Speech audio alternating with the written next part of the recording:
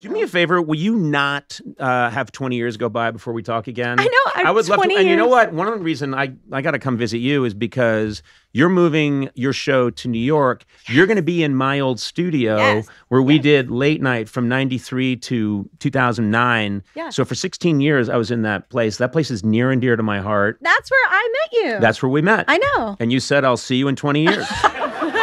I couldn't believe it had been 20 years. I was like, jeez. You said I'll see you in ten albums, sucker. um, but uh, yeah, Letterman was in that studio before me, and he did his iconic show there. There's a lot of They told me the history of it. I yeah. Tom excited. Snyder was there, interviewed John Lennon in that room. Wow. Uh, that is a very famous Special studio room. that has magical mojo.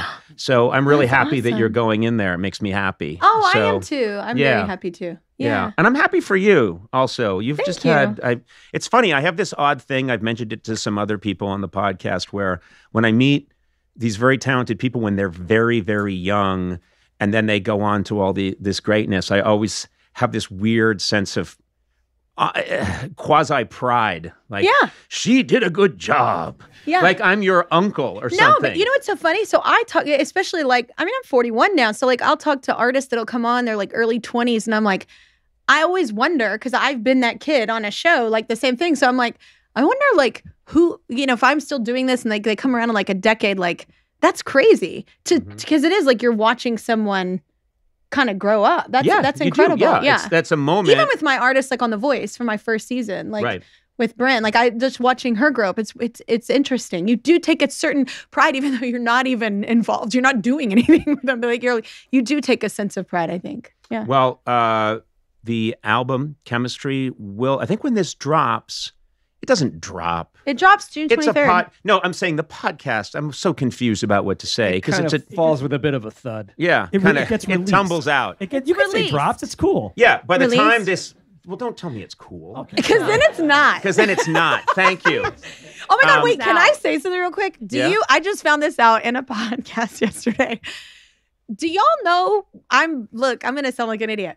Do you know? Like, do you know before anyone answers what Netflix and chill is? Like, do you know what that is? Y- yeah, I do. Yeah. What do you think it is? Well, I I think it's let's uh, let's get it on, as the kids used to say.